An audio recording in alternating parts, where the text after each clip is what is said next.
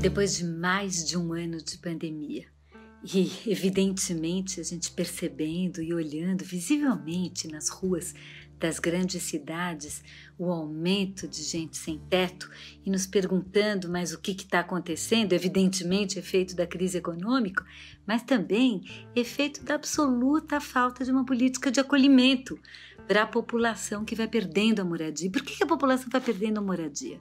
Em primeiro lugar, pela impossibilidade de conseguir arcar com o ônus do aluguel. O aluguel não tem acompanhado uma diminuição de renda, como é a diminuição da renda da maior parte da população.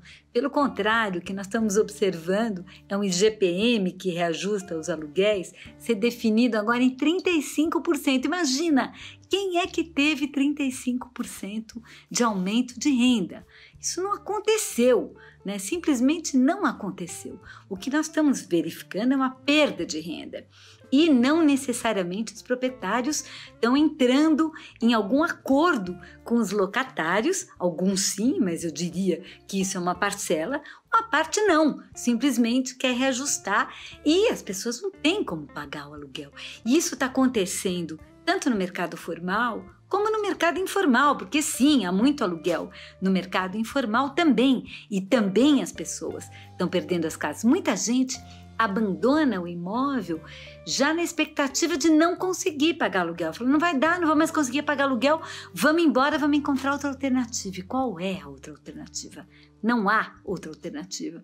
As únicas alternativas que existem nesse momento, que estão disponíveis para as pessoas de mais baixa renda nesse país, ou é ir para a rua, ficar acampado no meio da rua, com a família inteira, e é isso que nós estamos verificando, famílias inteiras morando na rua, ou se não, ir para as ocupações. As ocupações, elas estão alimentadas pelas remoções e pelos despejos. A gente está assistindo uma explosão de ocupações. E a máquina de ocupações ela vai crescendo na medida que as alternativas via política pública de moradia não existem, e é isso que nós estamos assistindo, não existem, não tem, e ao mesmo tempo as condições econômicas da população vão piorando cada vez mais.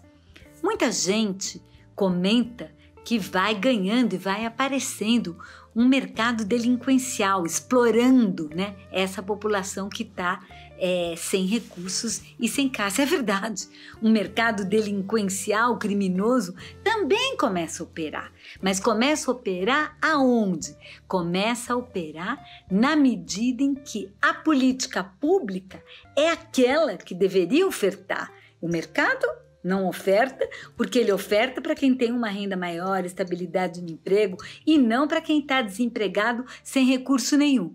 O Estado, que é quem deveria ofertar para essas situações ali onde o mercado não atinge, o mercado não chega, também não atinge. Então, um mercado informal vai se estruturando e vai sendo alimentado, inclusive hoje através de milícias. Mas há também muitas iniciativas coletivas de autoorganização, de autoajuda dentro das ocupações que inclusive vão muito além de resolver a questão da moradia imediata, também vão organizando o cotidiano das pessoas de uma forma solidária, de modo que não falte não apenas teto, mas não falte comida para as pessoas.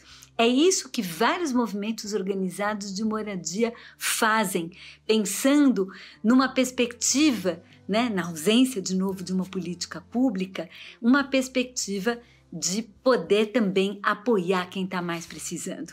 A gente teve uma medida cautelar do Supremo, né? O ministro Barroso votou ela dizendo tem que suspender o despejo na pandemia. E hoje nós estamos em discussão no Senado um projeto de lei que já foi aprovado na Câmara dos Deputados para suspender as remoções e os despejos durante a pandemia. É muito importante a aprovação desse projeto. É uma medida humanitária, é uma medida provisória, é uma medida emergencial, mas que tem o tamanho da emergência que nós estamos vivendo no nosso país nesse momento.